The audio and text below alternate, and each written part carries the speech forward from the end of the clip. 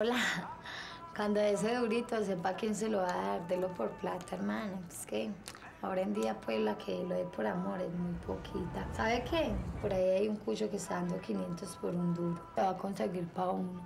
Yo estoy muy arrepentida de haberlo dado por amor. Llama ahora